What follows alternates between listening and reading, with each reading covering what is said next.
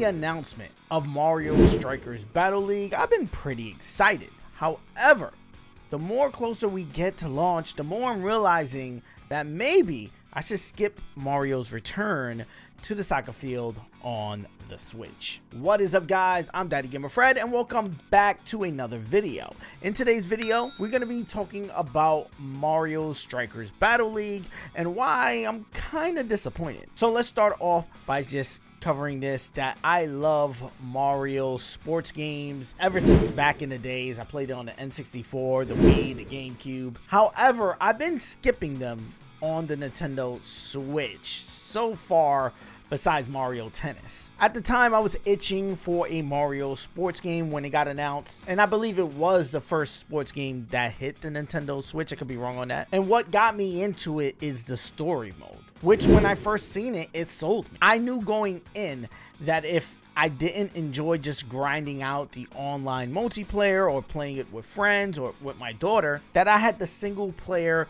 there that I could fall back on and enjoy. And to be honest and fair, that's what I feel like Mario Strikers Battle League is missing. Yes, I know, most people don't buy sports games for the story mode, but it's kind of what I like to call the Mortal Kombat effect.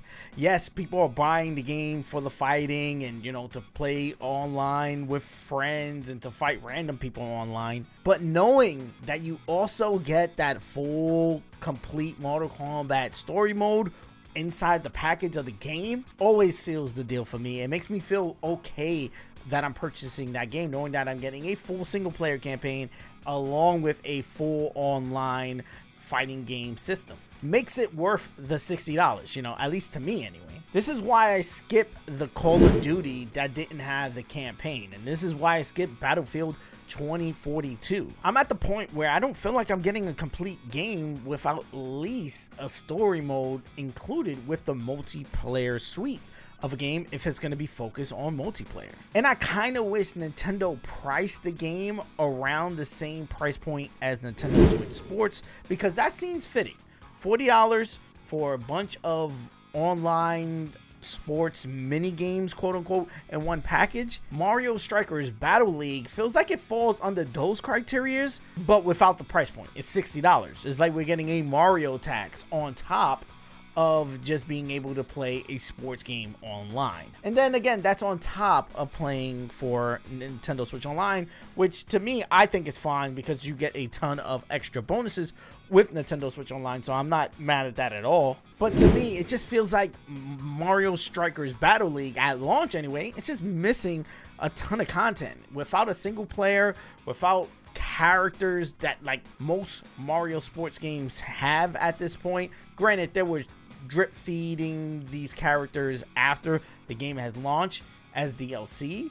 I feel like the game is just like for is just missing something that they haven't shown us, presented to us, or hell, have we haven't seen from other Mario Strikers games. Now, I know Nintendo came out and said that there's more content planned for the game, but we all know that's not single player.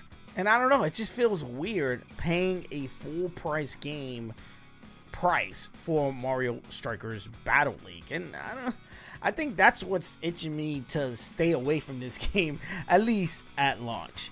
This will probably be a great Black Friday pickup, something to grab along down the line when they do eventually add more characters, more stadiums, hopefully more modes. Then I'll look into it and probably jump back on it. I am going to still cover the test fire. That happens this weekend, I believe, if I get this video out by then. I played a ton of the training mode stuff here in the demo already. And while it does play great, it does feel great to play again Mario Strikers and have it in my hands, play it on the Switch, handheld, in docked. It feels amazing. To me, I, I, I don't know. I just don't have the itch anymore to play Mario sports games at that $60 price point if it's not coming with a whole suite of modes and features. I don't know. Is it just me? Let me know what you think about this in the comment section below. Like always, guys, I answer all comments, so let's have that conversation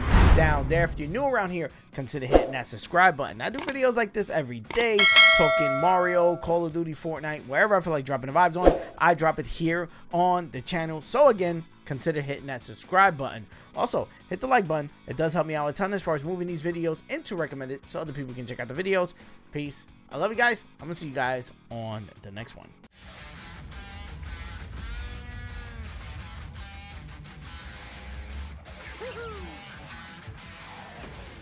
It's me.